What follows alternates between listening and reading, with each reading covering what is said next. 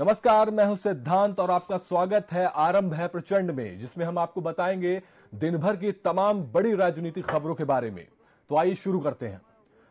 छत्तीसगढ़ के चुनाव में अब रेवाड़ी और रावड़ी की एंट्री हो गई है। कांग्रेस चुनाव जीतने के लिए लगातार कई लोक लुभावने घोषणाएँ कर रही है, जिन्हें भाजपा रेवड़ी की संज्ञा दे रही है।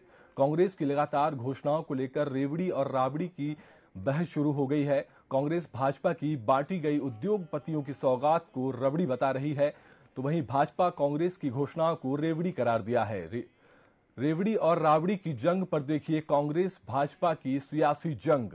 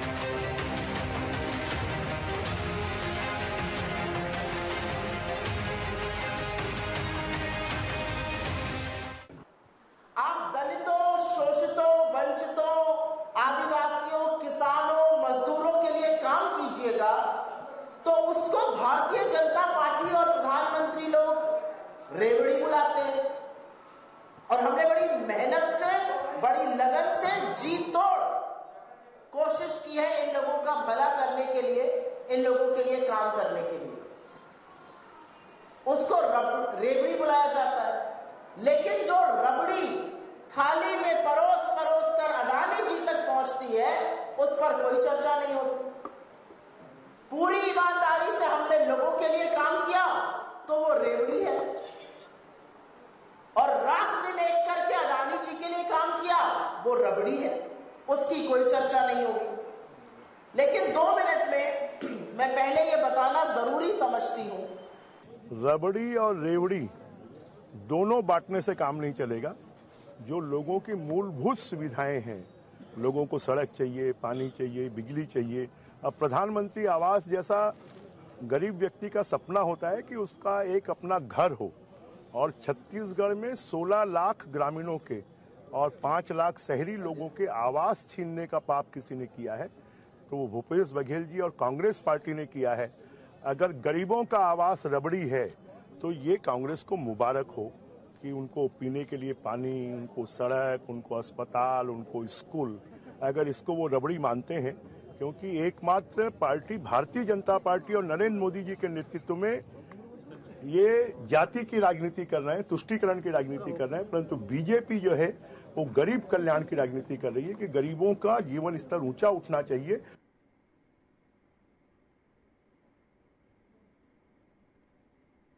चुनावी राजनीति में जीत का सबसे अहम पैमाना जाति को ही माना जाता है, लेकिन मध्य प्रदेश के विधानसभा चुनाव में ठाकुर ब्राह्मणों की केमिस्ट्री में जाति का ये गणित फेल होता दिख रहा है। चौदह फ़ीसदी से कम आबादी वाले समान वर्ग को सैतीस प्रतिशत उम्मीदवारी मिली है। यानी अभी से तय हो गया है कि सरकार चाहे किसी की भी बने, सत्ता का सबसे बड़ा शेयर स्वर्ण जाति के पास ही होगा। जाति गणना का वादा करने वाली कांग्रेस ने भी 230 में से 60 सीटों पर ठाकुर और ब्राह्मणों को उम्मीदवार बनाया है। बीजेपी ने ऐसा कोई दावा नहीं किया, लेकिन उसने भी इन्हें इन्हीं वर्गों को सबसे ज़्यादा टिकट दिए हैं। देश में आधिकारिक तौर पर जातिगत जनगणना 1931 में हुई थी। ओबीसी, एसटी और एससी कैटेगरी का सामूहिक डेटा अलग अलग स्टडीज़ में सामने आता रहा है लेकिन इन वर्गों की जातियों के बारे में स्पष्ट आंकड़े सरकारी दस्तावेजों का हिस्सा नहीं है। मध्य प्रदेश विधानसभा चुनाव के लिए कांग्रेस भाजपा के उम्मीदवारों की सूची में ये सामने आया है कि प्रदेश की 50 फ़ीसदी आबादी वाले ओबीसी वर्ग के हिस्से में सिर्फ़ 26 प्रतिशत टिकटें आई हैं। इसमें भी सबसे ज़्यादा हिस्सा लोधी और यादवों का है। दोनों पार्टियों की तरफ़ से सबसे ज़्यादा टिकट ठाकुर ब्राह्मणों को ही मिले हैं एस सी को उतनी ही टिकटें मिली हैं जितनी सीटें रिज़र्व हैं मध्य प्रदेश पिछड़ा वर्ग आयोग की कोर्ट में पेश रिपोर्ट के मुताबिक प्रदेश में पचास दशमलव शून्य नौ फ़ीसदी ओबीसी है, इक्कीस दशमलव एक प्रतिशत आदिवासी और पंद्रह दशमलव छह प्रतिशत एस हैं विधानसभा में सैतालीस सीटें एसटी के लिए और 35 सीटें एससी वर्ग के लिए रिज़र्व हैं। मीडिया रिपोर्ट्स के मुताबिक सात फ़ीसदी मुस्लिम हैं। देखिए, विधायक दल नेता चुनता है। और देश में या प्रांत में जो विधायक दल होता है, वही तय करता है को किसको नेता बनाएँगे। अब इसमें जातीय आधार पर भारतीय जनता पार्टी कभी नहीं कहती है। ये ज़रूर ध्यान में रखती है कि विधायक दल की बैठक में इन सारे मुद्दे पर चर्चा हो। सवर्ण वन को कांग्रेस ने सबसे ज़्यादा पचासी टिकट दिए हैं जबकि भाजपा ने इस वर्ग के उनासी उम्मीदवारों को मौका दिया है यानी ब्राह्मण बनियों को टिकट देने में कांग्रेस भाजपा से आगे है। पिछड़ा वर्ग आयोग ने आरक्षण के मसले पर दो साल पहले हाईकोर्ट में जो रिपोर्ट पेश की उसमें ओबीसी की आबादी पचास दशमलव एक फ़ीसदी बताई गई है। हालाँकि जातियों के आंकड़े सार्वजनिक नहीं हैं, लेकिन दोनों पार्टियों ने सबसे ज़्यादा टिकट लोधी यादव कुर्मी और कुशवाहा जाति के उम्मीदवारों को दिए हैं। उमा भारती की नाराज़गी के बाद भाजपा ने सबसे ज़्यादा 11 लोधी उम्मीदवार उतारे हैं। कांग्रेस ने लोधी और यादव समाज को बराबर सात सात सीटें दी हैं। उन्होंने शायद, पहली बात तो उन्हें सवाल अपने पार्टी से करना चाहिए, जो सत्ता में बैठी हुई पार्टी है। उन्होंने किसको कितना वोट, कितना प्रतिशत टिकट दिया कांग्रेस पार्टी का अगर वो आकलन करेंगे तो सौ से ऊपर मध्य प्रदेश में टिकट किसको दिया गया है, किस वर्ग विशेष को दिया गया सब कुछ वहाँ पे है। ये छुपाने और दिखाने की नहीं है और जिस जो आज हिमायती बने फिरते हैं और वो कहने की कोशिश कर रहे हैं, उन्हें शर्म आनी चाहिए कि जिस मध्य प्रदेश में इस शासन द्वारा दलितों पे, पिछड़ों पे, आदिवासियों पे जो अपमान हो रहा है, उनकी ज़ुबान क्यों नहीं खुल रही? जाति समीकरण पर अब दोनों ही पार्टियों के नेता अपना अपना राग अलाप रहे हैं। और एक दूसरे पर आरोप प्रत्यारोप लगाकर पल्ला झाड़ रहे हैं। भोपाल से टीवी 24 के लिए पॉलिटिकल एडिटर अतुल विनोद पाठक की रिपोर्ट। सप्त ऋषियों की गोद में बसे धमतरी ज़िले की सिहावा विधानसभा सीट में दिलचस्प मुकाबला नज़र आ रहा है। आदिवासी वर्ग के लिए आरक्षित इस सीट पर मुख्य मुकाबला भाजपा के श्रवण मरकाम और कांग्रेस की अंबिका मरकाम के बीच है। क्या यह क्या है यहाँ का सियासी मिजाज समझने के लिए? देखिए ये रिपोर्ट। सिहावा विधानसभा महानदी का उद्गम स्थल होने के साथ साथ जुझारू आदिवासी नेताओं का क्षेत्र रहा है। सिहावा विधानसभा को आदिवासी समूह के लिए आरक्षित करने की मांग को लेकर भानु सोम के नेतृत्व में सैकड़ों आदिवासियों ने रायपुर पैदल कूच किया था। इसी की बदौलत उन्नीस से ही यह सीट अनुसूचित जनजाति के लिए सुरक्षित है। हालाँकि प्रारंभ से ही यह विधानसभा सीट मूल स्वरूप में कांग्रेसी विचारधारा का समर्थक रहा है। लेकिन उन्नीस में जनसंघ ने और 1977 में जनता पार्टी ने अपना विधायक बनाने में सफलता हासिल की। भाजपा प्रत्याशी को कुछ ऐसे ही प्रदर्शन की उम्मीद है। अंबिका मरकाम जी को कांग्रेस ने टिकट दिया है। कोई चुनौती नहीं है। हम लोग एक तरफा जीत रहे हैं। जनता हमारे साथ है। कांग्रेस ने कुछ भी नहीं किया पाँच साल में, लोगों के नज़रों में है। और हमने जो 2013 से 18 के बीच में जो काम किया है, वो आम जनता के बीच स्पष्ट है। कोई दिक्कत नहीं है, हम लोग भारी बहुमत से जीत रहे हैं। नब्बे के दशक में सीट पर एक बार फिर कांग्रेस का दबदबा कायम हुआ। और 1990 और तिरानवे और उन्नीस में कांग्रेस के माधव सिंह ध्रुव विधायक चुने गए और अविभाजित मध्य प्रदेश में मंत्री रहे। लेकिन कांग्रेस की इस जीत के सिलसिले को भाजपा की महिला प्रत्याशी पिंकी शाह ने वर्ष 2003 में तोड़ा और उन्होंने पूर्व मंत्री माधव सिंह ध्रुव को शिकस्त दे दी। हालाँकि 2008 में उन्हें कांग्रेस की अंबिका मरकाम से हार का सामना करना पड़ा। चुनाव जीतना है, सभी कार्यकर्ता काफ़ी उत्साहित हैं। और निश्चित है कि चुनाव जीतेंगे भी और उसके बाद यहाँ क्षेत्र का जो भी विकास बचा हुआ है उसको आगे बढ़ाने का काम करूँगी। हमारी विधायक जी लक्ष्मी ध्रुव जी ने भी बहुत काम किया है अपने सर, सरकार रहते हुए। और जो भी काम अधूरे उन्होंने छोड़ा है उसको जो है आगे मैं करने का प्रयास करूँगी। बहरहाल 2008 के बाद राजनीतिक समीकरण देखें तो पिछले चुनाव में जनता परिवर्तन करते आ रही है। भाजपा और कांग्रेस दोनों ही दलों ने पूर्व विधायकों को टिकट दी है। अब देखना यह दिलचस्प होगा कि जनता किसे अपना प्रतिनिधि चुनती है। ब्यूरो रिपोर्ट, टीवी 24 सिहावा विधानसभा महानदी का प्रदेश में चुनावी शंखनाद के बाद सिरोंज के कांग्रेस प्रत्याशी गगनेंद्र रघुवंशी ने नामांकन फॉर्म भरा है। इस दौरान गगनेंद्र रघुवंशी के साथ बड़ी संख्या में समर्थक मौजूद रहे। वहीं जगह जगह पर उनका पुष्प वर्षा कर स्वागत किया गया। इन सभी तमाम चुनावी मुद्दों को लेकर हमारे संवाददाता ने कांग्रेस प्रत्याशी गगनेंद्र रघुवंशी से खास बातचीत की। कांग्रेस प्रत्याशी गगेंद्र रघुवंशी ने आज फॉर्म भरा है। यहाँ पर आके शुभ मुहूर्त में उन्होंने अपना नामांकन दाखिल किया है। हमारे साथ प्रत्याशी गगेंद्र रघुवंशी जी मौजूद हैं। शिक्षा के विषय में बहुत ज़्यादा सोच के रखा है। गौ माता के विषय में भी सोच के रखा है। किसान भाइयों के लिए लाइट, पानी और व्यवस्था डैम, स्टॉप डैम इनके लिए बहुत ज़्यादा है और व्यापारी भाइयों के लिए सुविधा जो है ना, सुरक्षा की सुविधा और उनकी बाज़ार में जो उन्हें दिक्कत आती उन चीज़ों के लेके हम देखेंगे। एक मर्द की सफलता के पीछे एक औरत का हाथ होता है, ये प्रचलित बात है। हमारे साथ इस समय उनकी पत्नी भी मौजूद है। जो कदम कदम पे उनके साथ है कैसा लग रहा है आपको विधानसभा चुनाव अब नज़दीक है अब प्रचार के लिए आप उतर गए बहुत अच्छा। क्या कहना चाहेंगी हमारे चैनल के माध्यम से क्या संदेश है आपका? मैं सब इनके साथ। जनता का भरपूर प्रेम है हमारे लिए और हम उमाकांत जी को चालीस हज़ार वोटों से हराएँगे जो है ना हमारे। भैया एक तरफा फाइट है सत्तर परसेंट से अधिक वोट मिल रहा है चालीस हज़ार से अधिक वोटों से जीतेंगे भाई साहब। आप क्या कहना है? चालीस हज़ार वोटर से कम से नहीं जीत रहे।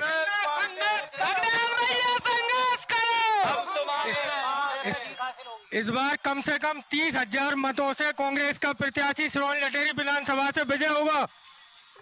इस बार का मुकाबला बड़ा दिलचस्प है।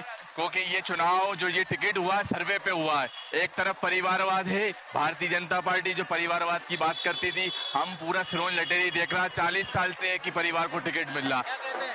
आप देख सकते हैं कि प्रत्याशी के घोषित होते ही कांग्रेस सरोंज विधानसभा की जीत सुनिश्चित हो चुकी है, क्योंकि ये वो परिवार का बालक है, जिसने किसान से, गरीबी से उठ करके इस पार्टी में बढ़ चढ़कर हिस्सा लिया और पार्टी ने उसके लिए मौका दिया और किसानों की हमदर्दी को जाना समझा तो निश्चित ही इस बार कांग्रेस पार्टी सरोंज लटेरी विधानसभा में तो अपना परचम लहराएगी। मध्य प्रदेश में जैसे जैसे चुनाव की तिथियाँ नज़दीक आ रही हैं, वैसे वैसे चुनावी हलचल भी अब तेज हो गई है।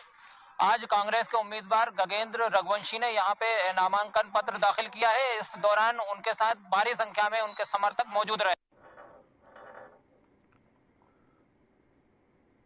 बुधवार को बीजेपी छत्तीसगढ़ में चौथी और अंतिम सूची जारी कर दी। बीजेपी हाईकमान ने चार सीटों पर प्रत्याशियों का ऐलान किया है। अंबिकापुर से राजेश अग्रवाल और बेमेतरा से दीपेश साहू को टिकट दिया गया है। वहीं बेलतरा से सुशांत शुक्ला और कसडोल से धनीराम धीवर को प्रत्याशी बनाया है।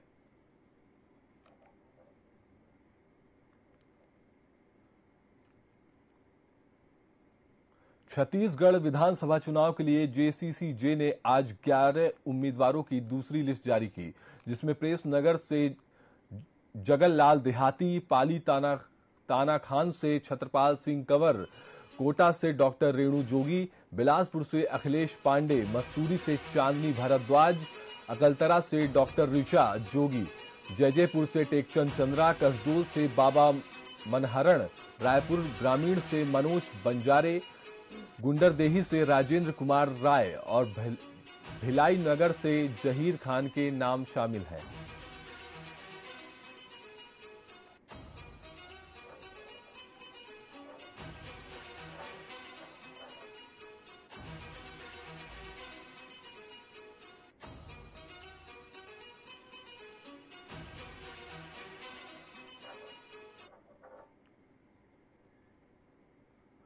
छत्तीसगढ़ विधानसभा चुनाव में किसी भी पार्टी से सिंधी समाज का प्रत्याशी नहीं मिलने पर रायपुर सिंधी समाज में आक्रोश है। समाज के लोगों ने तेलीबांधा स्थित सिंधी धर्मशाला में एक बैठक लेकर रायपुर उत्तर विधानसभा सीट से अपना निर्दलीय प्रत्याशी उतारने का फैसला लिया है। निर्दलीय प्रत्याशी के तौर पर सिंधी समाज से आने वाले और वर्तमान के कांग्रेस पार्षद अजीत कुकरेजा चुनाव लड़ सकते हैं। आपको बता दें कि अजीत कुकरेजा ने कांग्रेस में रायपुर उत्तर विधानसभा सीट से टिकट के लिए दावेदारी की थी, लेकिन कांग्रेस पार्टी के तरफ़ से उन्हें टिकट नहीं दी गई।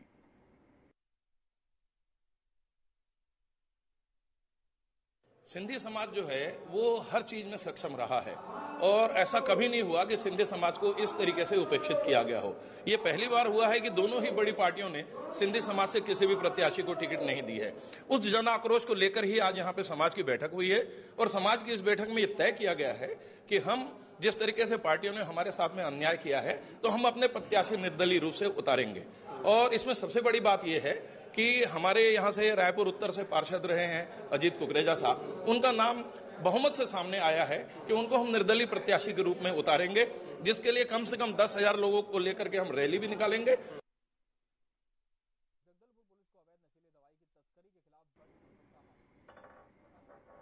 विधानसभा चुनाव को लेकर कांग्रेस की राष्ट्रीय प्रवक्ता रागिनी नायक जबलपुर पहुँची, जहाँ उन्होंने प्रेस वार्ता के दौरान भाजपा पर जमकर निशाना साधा। उन्होंने कहा कि प्रदेश में भाजपा की सरकार है और इसके हाल बुरे हैं। उन्होंने कहा कि जिस ज़िले में भाजपा के राष्ट्रीय अध्यक्ष जेपी नड्डा और प्रदेश अध्यक्ष वीडी शर्मा का ससुराल है, वहाँ पर भाजपा बेइज्जत हुई है। दुख की बात तो ये है कि उनके ही संभागीय कार्यालय में हाय हाय के नारे लगे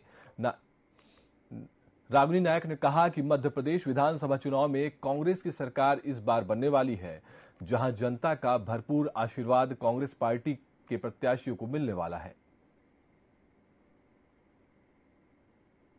शिवराज सिंह चौहान, मुझे लगता है कि 10 10 राज्यों में भाजपा की सरकार है। और जहाँ जहाँ भी चुनाव हुआ, केवल शिवराज सिंह चौहान ऐसे मुख्यमंत्री हैं जिनकी इतनी फजीहत कराई केंद्रीय नेतृत्व ने कि चौथी लिस्ट तक नाम रोक के रखा। और वो इसी कारण किया कि ये वो लोग भी जानते हैं, भाजपा भी जानती है कि शिवराज सिंह चौहान जैसे जैसे बोलेंगे, बाहर निकलेंगे, उनका नाम और उनकी फर्जी घोषणाओं के बारे में बात होगी वैसे वैसे भाजपा का वोट कटेगा। और अगर लिस्ट की बात कर लें तो भैया, जबलपुर ज़िले में आठ सीटें कांग्रेस ने भी घोषित की। एक विरोध का स्वर नहीं सुनाई दिया। और यहाँ से तो प्रदेश अध्यक्ष से लेकर राष्ट्रीय अध्यक्ष दोनों दामाद हैं यहाँ के। और दामाद की भी इतनी बेजती हो गई कि हाय हाय के नारे लग रहे हैं जबलपुर में। और जनता तो लगा ही रही है, भाजपा के कार्यकर्ता भी लगा रहे हैं। इतनी सिर फुटअल है। टिकट वितरण के बाद ही कपड़े फाड़ने और बंदूक चलने की नौबत आ जाती है। और मैं तो कहूँगी कि जो महाभारत में संजय की भूमिका थी कि वृतांत बताना है, दृष्टांत बताना है क्या क्या हो रहा है किस किस जगह। वो भूमिका जो मोदी जी के लिए भूपेंद्र यादव केंद्रीय मंत्री निभा रहे थे, उनके ऊपर तक आक्रमण हो जाता। है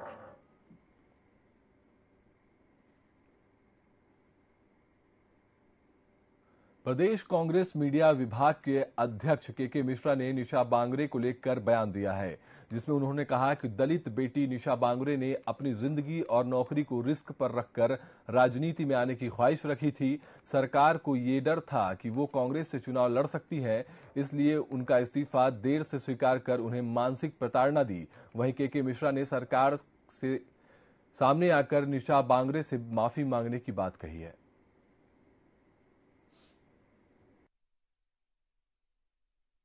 और हम उम्मीद करेंगे कि उन्होंने जो पथ चुना है, उसको ईमानदारी से पालन करें। अब वो कौन सी पार्टी से लड़ेंगी, उनका विवेक है। हमारी पार्टी उनको लेकर क्या निर्णय लेगी, वो हमारे सीनियर लीडरों का विवेक है। मगर मैं उनके उज्जवल भविष्य की कामना करते हुए मौजूदा सरकार से और मुख्यमंत्री जी से आग्रह करना चाहूँगा कि वो निशा बांगड़े जी से सार्वजनिक तौर पर माफ़ी मांगे।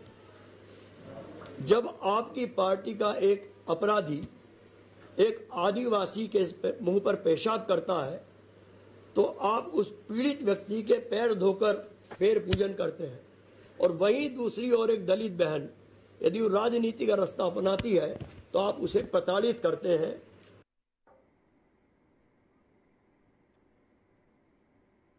राजधानी भोपाल के बीजेपी प्रदेश कार्यालय में केंद्रीय मंत्री अर्जुन मुंडा ने प्रेस वार्ता कर आयोजित किया।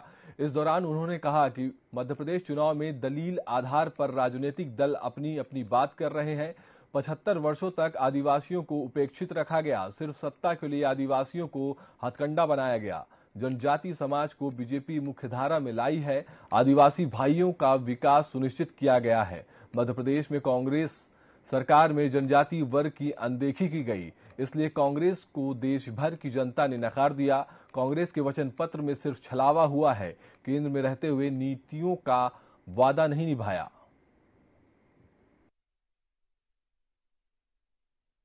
एक सोच सहमति देश का बने, मानस बने कि हम वन इलेक्शन वन नेशन का कॉन्सेप्ट को लेकर के, यानी कि प्रांत का इलेक्शन और देश का इलेक्शन एक साथ हो। तो ये अवेयरनेस हमें बढ़ाने की ज़रूरत है। इसका आह्वान भारतीय जनता पार्टी ने इस दृष्टि से किया है कि देश का समय, जनता का समय महत्वपूर्ण होता है। उसमें, उस समय का उपयोग हम उनके लिए भी, उनके परिवार के लिए भी और देश के लिए भी बेहतर तरीके से कर सकते मध्य प्रदेश में विंध्य जनता पार्टी 40 सीटों पर चुनाव लड़ने जा रही है, जिसके लिए विंध्य क्षेत्र की सभी 30 सीटों पर 27 अक्टूबर को उम्मीदवार घोषित किए जाएँगे। नारायण त्रिपाठी अन्य दलों से भी चुनाव लड़ने के लिए ऑफ़र आने की बात कहते हुए कहा कि हमारा मुद्दा सिर्फ़ विंध्य प्रदेश ही ही था, जिसको लेकर अन्य दलों ने अपनी सहमति नहीं जताई। उसके बाद हमने विंध्य जनता पार्टी के बैनर पर चुनाव लड़ने का फैसला लिया है। भोपाल में पाँच उम्मीदवार भी उतारेंगे और पूरे दम खम से विधानसभा का चुनाव लड़ेंगे।